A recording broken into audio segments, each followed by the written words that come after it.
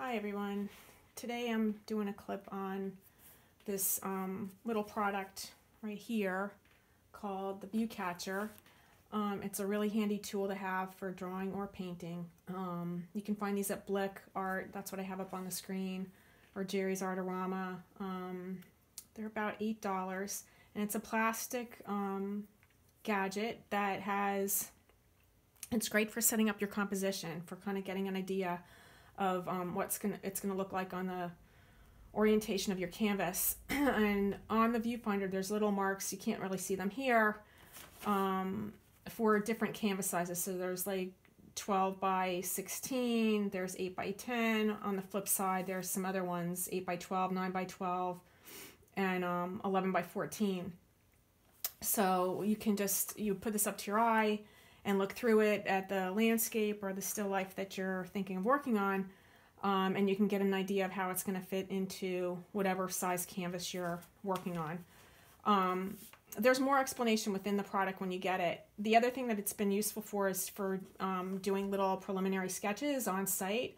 So what I'll do is um, set it to the size that I want. For this example right here, um, I set it to 8 by 10 and then I'll just draw a little outline and then I can use this to rough in my sketch. And so mean, this is this is sort of what those look like. This is kind of stained up with oil, but um, you can see I just get a little rough idea of what I'm going to be working on using the viewfinder to um, set the orientation and, and um, size. The other thing you can do if you want to don't want to work that small is what I did here is just replicate the um, that dimension four times. So that's what I did here, just to expand the proportion. And then just I'll erase out these lines. And then that gives me a space that will be um, a match to my canvas. So this is the same ratio in size and proportion to the 8 by 10, but yet I have a larger area to, to work out um, a little sketch and value study before I begin my um, actual painting. Um, so I guess that's about all I want to say. The other thing I can point out on this is the little little hole up here.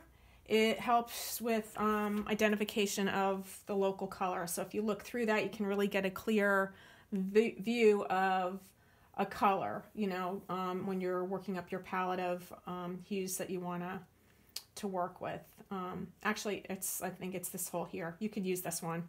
Um, I think this is this is helpful for clipping it onto your um, your backpack or whatever gear you might be carrying, but either hole would work. So it just helps isolate local color. It's a really simple thing. like I said, two sides to it. It's called the View Catcher, and you can find this at Blick or Jerry's Artorama or any um, art store. Okay, that's it for today. Thank you.